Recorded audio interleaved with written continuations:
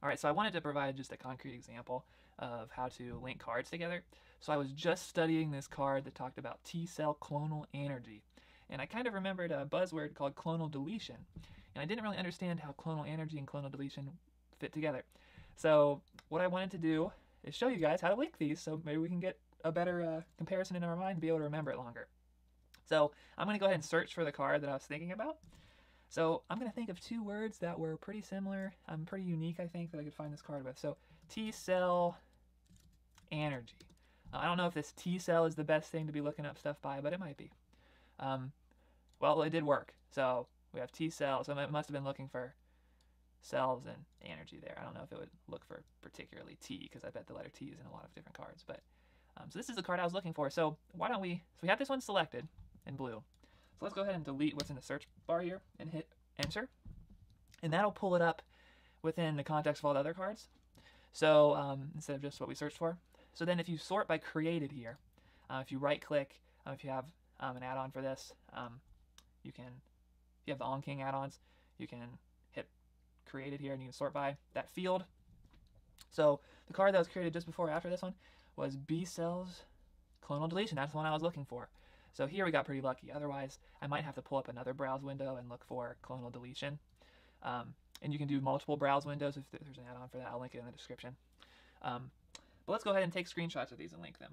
So I haven't really seen anybody talk about this on YouTube, but I think it's incredibly helpful. Actually, I would say about 10% of my cards um, in my collection have some kind of linkage like this. And it takes a little bit of extra time, and I think it's best to make this linkage right when you're first learning the card, when it's new. Because um, then it's just whenever you're reviewing it, uh, it's right there for you, and it saves time in the future. I think it, a little bit of time up front to make these uh, screenshots, but it doesn't take too long once you're good at it. So let's take a screenshot of this. Uh, I'm going to go ahead and use Snagit, which is this fun picture editing software. I think it costs a little bit of money, but it's not too much. Um, you can also use Command Shift 4. So, but for fun, I'm going to use Snagit here. Pulls up this kind of fun crosshair window. Let's take a screenshot of that. And let's just go here, lecture notes, paste, and then let's link it bidirectionally so we can compare the two. Command Shift or Control Shift C in the case of uh, Snagit, but Command Shift 4 in the case of good old uh, Mac screenshot, which I use a lot anyway. And just for fun, you can download this Paste Clipboard Manager. Um, I think it's $15 a year, but it's quite helpful if you want to do this linkage on a routine basis. You can do Command Shift V, and it'll pull up all your previous um, screenshots. So this is very helpful if you want to link cards with more than one other card. It's just helpful to have more tools in your pocket. So if you want to be able to pull up your screenshots in a way that you can read them pretty easily and then compare where you want to paste particular cards, um, that's very helpful as well.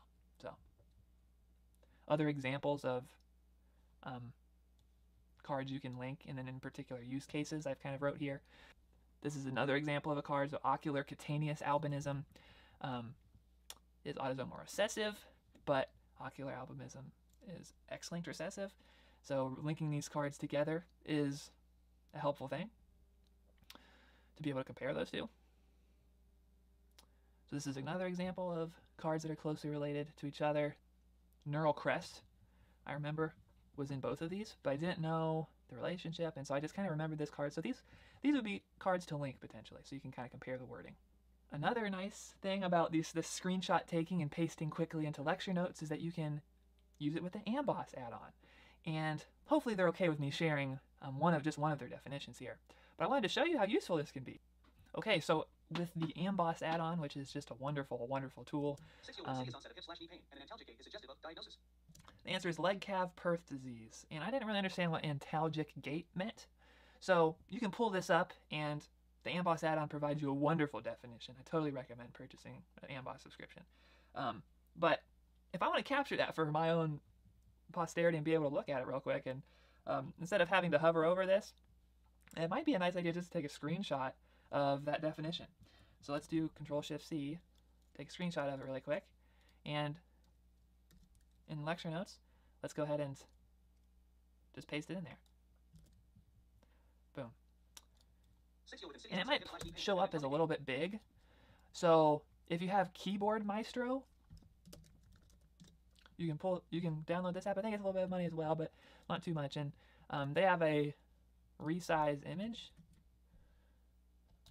ability here. So I made a F2 is what I want, and then I changed the size to about 600 to 500, which is about perfect for a lot of images in Anki. So let's go ahead and redo this. So let's get rid of this screenshot.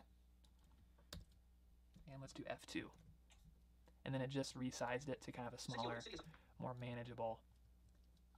Boom. So it's a little bit nicer that way and not taking up most of the screen. That's a really nice method of giving yourself another definition of a particular disease, um, maybe in a larger context, because um, the definitions usually provide like a quick snapshot of everything that's kind of relevant about that particular disease. Um, so that's pretty helpful because some of the AnKing cards are details about a particular uh, disease, but you don't really understand like, oh, all these things together in a question stem would lead to this particular disease. So this AnKing add-on and th- those definitions are a really nice addition to your your studying, in my opinion. Um, okay, so let's go back to a couple other topics I wanted to talk about. Um, here is another example of just what it, would look like. So it's just nicely within this lecture notes field. You don't need to look at it if you don't want to, but in my mind, if I have something in the lecture notes field, otherwise this lecture notes button doesn't show up. If there's nothing in the lecture notes field, it doesn't show up. But if there's if that's showing up, that means I pasted something I think is important in there. So, you know, if, if I'm iffy about a card, I don't understand kind of the reasoning behind it, and I pasted something in that lecture notes field earlier, I'm going to go ahead and hit H really quick. Or I set up on a controller, you can put, um, I love this controller, I'll link it in the description, but you can um, make this button an H so you can just quickly pull that up and look at what you just linked and uh, very helpful. So then lastly, this is an example of two cards that were kind of confusing with a small word change, but being able to screenshot the exact wording like this was really helpful in this situation where um, IV infusion leads to fever, chills, hypotension, and headache, but not seizures. Um, intrathecal, which is not IV but inside the inside the skull, um, that actually leads to seizures in addition to the headaches. So having these compared and linked together, um, very helpful. And the screenshot nature of these in particular is helpful because you're not going to search for a card and then pull up um, a card that's not really relevant.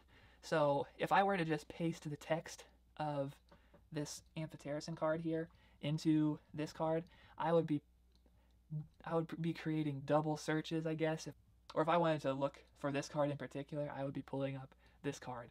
Um, if I search for something like seizures and amphotericin. Um, so I don't know, it's just kind of a small thing, but having a picture in there, not the text, makes searching a little bit more efficient.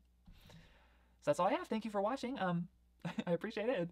Uh, if you're thinking about going to a medical school, Boonshoft School of Medicine is like the best uh, medical school ever. this is what I'm going to, so it's um, incredible school. So stay safe, um, get vaccinated, and thank you for watching.